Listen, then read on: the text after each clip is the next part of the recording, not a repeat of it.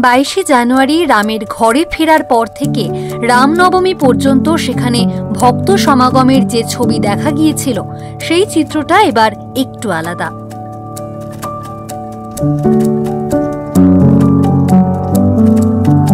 প্রচলিত ধারণা অনুযায়ী অযোধ্যায় রাম দর্শনের আগে ভক্তেরা বজরংবলির মন্দির দর্শন করতে যান। কিন্তু আপাতত সেই পথ কিছুদিনের জন্য বন্ধ। देखिए वीआईपी मूवमेंट का मात्र सिर्फ़ एक रोक लगाने का मतलब है कि जो हमारा निकासी द्वार पे कार्य हो रहा है, या सुचारू रूप से चले और जितना फास्ट हो सके। तब 10 जुलाई का इंजीनियर ने 10 जुलाई का समय निर्धारित किया कि महाराज 10 जुलाई तक हम इसको खोल देंगे।